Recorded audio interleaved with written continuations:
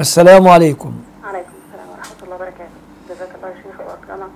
وإياكم. ونفعنا بعلمك وإياكم وإياكم. تفضلي سؤالك. سؤال آه، إذا كان شخص عنده مال وحال عليه الحول وبلغ النصاب ويزكيه آه، سمعت رأي آه، آه، عايز أعرف صح ولا غلط؟ إن أنا آه، أجنب آه، مصاريف السنوية يعني قوت الأولاد ومصاريفهم ودراستهم والكلام ده. لا لا لا لا لا لا لا لا, لا كلام غلط. آه. ما في كلام زي كده. يعني أنت معك مثلا مئة ألف جنيه. نعم. وتنفقين في العام خمسين. نعم. وأنت معك الآن مئة ألف حلت عليهم الزكاة. هل تقسم الخمسين المصاريف اللي جاية؟ لا. ما في ده ما في نص على كده أبدا. الحمد لله. الله يوفقك